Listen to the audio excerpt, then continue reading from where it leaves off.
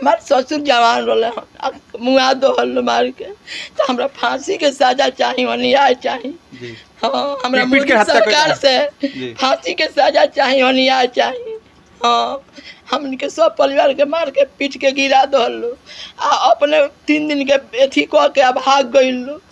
आ सब सामान लेके भाग गइलो। आ हमनी के पीट पाट के हमनी के बाज दिन से उला पर पैसा पे बिके प्रशासन पैसा पे बिके तनी बिहार में जिस तरह क्राइम का ग्राफ लगातार बढ़ता जा रहा है, दिन दहाड़े अपराधी जो है असामाजिक तत्व तो है, हत्या करके आसानी से अपने घर में रह रहे हैं, अपने रिलेशन में रह रहे हैं, लेकिन पुलिस उन अपराधियों के पास, पुलिस उन असामाजिक तत्वों के पास आखिर क्यों नहीं पहुँच पा रही है बहुत ही बड़ा सवाल खड़ा हो रहा है। ये मौजूद है सीमांत ज़िले के महाराजगंज थाना क्षेत्र के महुआरी गाँव में मौजूद है, जहाँ पे दिखा सकते हैं, यही घर है जहाँ पे एक व्यक्ति को दो माह पहले एक व्यक्ति की हत्या की गई थी काफ़ी पीट पीट कर बेरहमी से हत्या की गई थी इसका नाम मामला ये हुआ कि उस घटना में 10 आदमी को नामजद प्राथमिकी अभियुक्त बनाया गया लेकिन अभी तक दो आदमी कोर्ट में जाकर सरेंडर किया है। किसी व्यक्ति को महाराजगंज थाने के पुलिस द्वारा गिरफ्तारी नहीं की गई है। जो परिजन है उनसे हम बात करने का प्रयास करेंगे सर आखिर क्या कुछ घटना घटा हुआ लेकिन अभी तक गिरफ्तारी नहीं हुई। क्या कुछ मामला था? क्या मामला था? वो ज़मीन भी विवाद था इसलिए आके हम लोग यहाँ तलवार फिरसा लेकर और लाठी सरिया लेकर मारने मारने शुरू कर दिया एक बार। अच्छा उसमें कितने लोग पर आप एफ़ किए हुए थे?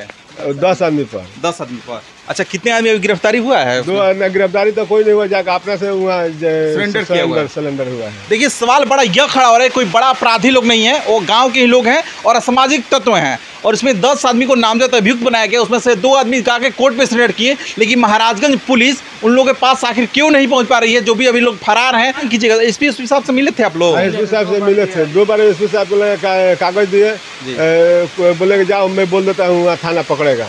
बाकी एक बार भी थाना नहीं पकड़ा किसी को। कोई कोई कार्रवाई नहीं हुआ? कुछ कार्रवाई नहीं हुआ। अच्छा क्या मांग कीजिएगा? ज़िले के पुलिस कप्तान से क्या मांग हाँ कीजिएगा पुलिस को कहता हूँ जान का बदला जान चाहिए मेरा।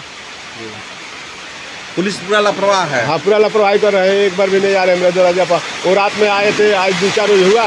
तो आज दरवाज़ा खुला देखा जो जब बोला था आदमी कि यहाँ आदमी नहीं है तो यहाँ आका करने आते हैं पकड़ने रिलेशन में जाइए रिलेशन में हाँ हैं। हाँ रिलेशन में बताए जाने पर कोई जाता नहीं हुआ देखने के लिए। क्या? पुलिस वगैरह आती है कि नहीं यहाँ पे? नहीं आती है नहीं आती है। अच्छा फरार हैं अभी लोग। हाँ। अच्छा धमकी वगैरह भी देते हैं क्या वो लोग? देता है। वो मेरे दरवाजे पे एक दिन बारह बजे रात का चोर भेजा था। अच्छा। तो हम लोग जो आयो है केस को उनसे बोला था तो बोल रहे थोड़ा एथिए सुती है।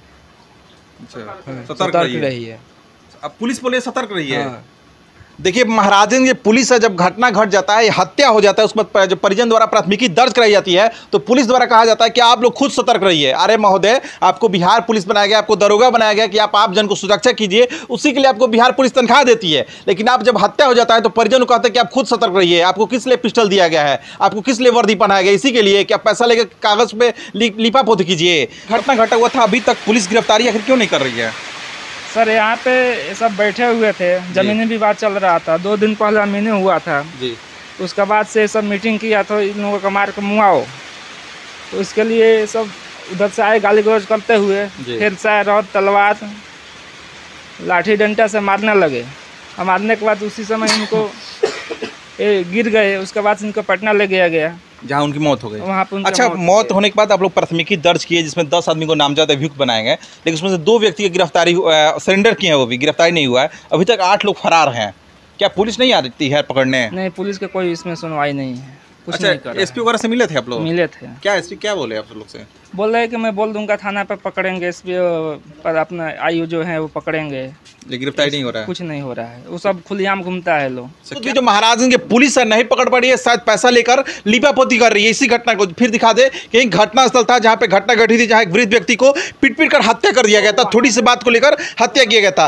तमाम जो महिलाएँ हैं उनसे भी हम बात करें। क्या मांग कीजिएगा? आपके जो घर के परिजन थे उनकी हत्या कर दी गई। उस पर एफ़ दर्ज हुआ लेकिन अभी तक आरोपी फरार चला है, तो भी धमकी दे रहे हैं। क्या मांग कीजिएगा? हम फांसी के सजा जी। इंसाफ चाहिए हमरा। बिकत तनी लोग पैसा पर प्रशासन बिका तनी लोग हमनी के पैसा तो सब केहू बैठल बा तो पैसा कहाँ से बिगी स? जौन बा तन बिगत तनी स।